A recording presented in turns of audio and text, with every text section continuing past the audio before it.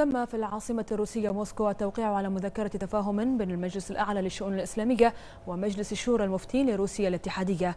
وقع المذكرة من الجانب البحريني مع الشيخ عبد الرحمن بن محمد بن راشد الخليفة نائب رئيس المجلس الأعلى للشؤون الإسلامية. ومن الجانب الروسي سماحة المفتي الشيخ راوي عين الدين رئيس مجلس شورى المفتين لروسيا والإدارة الدينية لمسلمي روسيا الاتحادية. تهدف مذكرة التفاهم إلى تعزيز أطر التعاون بين الطرفين في نشر القيم السمحة للإسلام. ونشر الثقافة الإسلامية والتأكيد على وسطية الإسلام ونبذ العنف والتطرف وترسيخ القيم السمحة المبنية على التسامح وتعزيز السلام بين الشعوب والأديان.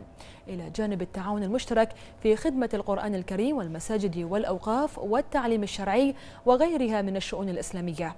وعلى الصعيد ذاته افتتح معالي الشيخ عبد الرحمن بن محمد بن راشد الخليفة نائب رئيس المجلس الأعلى للشؤون الإسلامية في العاصمة موسكو المكتبة الإسلامية بالمركز الثقافي الإسلامي التابع للإدارة الدينية لمسلمي موسكو حيث استمع إلى شرح مفصل عن أعمال المركز وبرامجه وخططه المستقبلية وبحث مع مسؤولي الإدارة الدينية لمسلمي موسكو سبل تعزيز التعاون المشترك.